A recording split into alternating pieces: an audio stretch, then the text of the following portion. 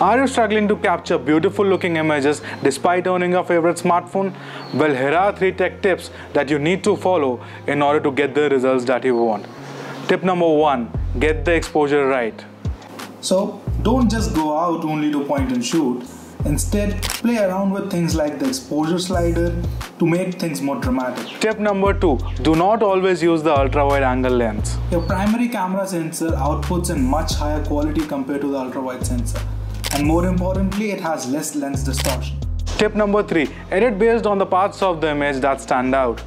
The rabbit in this image had blue eyes, so bring out more detail, use HSL and enhance the saturation. And remember, editing can either make or break an image.